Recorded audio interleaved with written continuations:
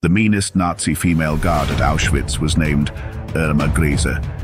She did awful things like having relationships with prisoners and then sending them to be killed in gas chambers the next day. She enjoyed hurting women by hitting them on their chests. She also made young prisoners watch as she hurt other girls in the camp. She would beat at least 30 women to death every day. When picking who would go to the gas chambers, she chose young and pretty girls first because she was jealous of them. Irma Grese also took part in medical experiments on prisoners. She even watched a woman give birth while the woman was tied up. She had lampshades made from the skin of dead prisoners. After the war, she got arrested and was given the death penalty by hanging when she was only 22 years old.